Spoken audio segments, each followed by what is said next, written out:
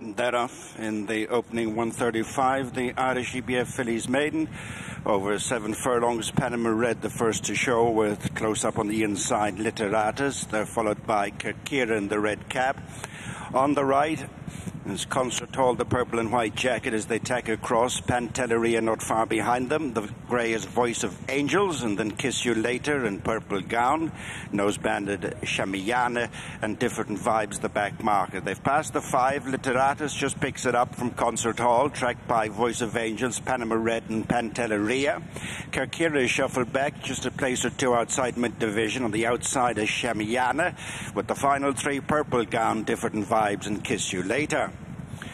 Coming past the halfway stage, and from first to last, there'd only be about five lengths. It's Literatus, joined by Concert Hall.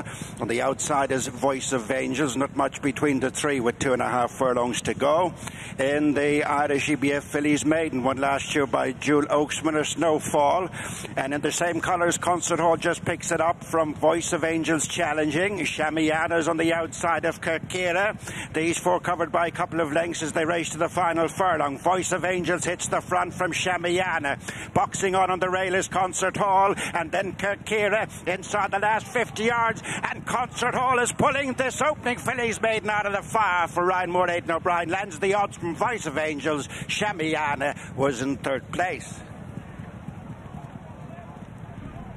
Fascinating stuff and a really gritty performance here from Concert Hall to get off the mark second time out, fulfilling the promise of her debut effort at Fairyhouse and just getting the better of the doughty voice of Angels, who, well, it was her first go on the race course today in terms of competitive action, had had that